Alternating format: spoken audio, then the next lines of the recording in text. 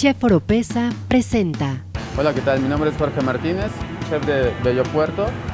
El día de hoy prepararemos unas tiritas y guatanejo.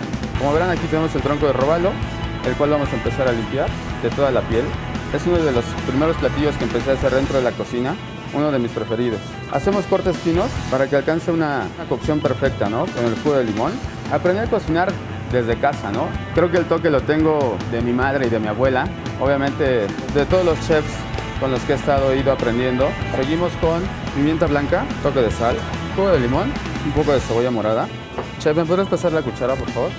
Bueno, ahora vamos a mezclar. Vamos a dejar aquí reposando el robalo. Mientras vamos a ponerle chile serrano, libre de semillas y desvenado. Unos cortes muy finos, se lo vamos agregando. Aproximadamente se tiene que dejar marinando entre unos 7 u 8 minutos. El pescado tiene que tener una cocción muy tierna, ¿no? Lo vamos a montar con una tostada y con un toque de guacamole. Nosotros le llamamos guacamole maya, que está hecho de aguacate, chile habanero, cebolla y bueno, le ponemos un toque de, vinagre de la casa, ¿no? Seguimos a, a montarlo y bueno, ese es el final del platillo. Chef Oropesa presentó